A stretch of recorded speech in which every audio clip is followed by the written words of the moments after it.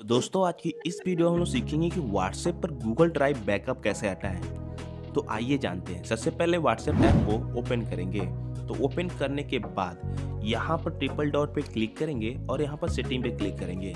इसके बाद यहाँ पर चैट पे क्लिक करेंगे और स्क्रॉल डाउन करेंगे और चैट बैकअप पे क्लिक कर देंगे। अब देखिए यहाँ पर। कई बार दोस्तों, इस तरह आपको ऑप्शन नोटिफिकेशन आता है कि आप बैकअप करें बैकअप करें। इसके अलावा ये कभी कभी यहाँ पर भी शो करने लगता है कि वाईफाई से बैकअप होगा। ठीक है, अभी तो मेरा शो नहीं कर रहा है। ठीक है? अब देखिए, दोनों जो भी प्रॉब्लम होगा, उसको हटाने के लिए सिंपल यहाँ पर दे रहा है backup up backup to Google drive इस पर क्लिक करेंगे और यहाँ पर करेंगे नेवर पर क्लिक और इस तरह करके जो आपका गूगल ड्राइव का जो बैकअप है ना, वो नहीं बनेगा। ठीक है?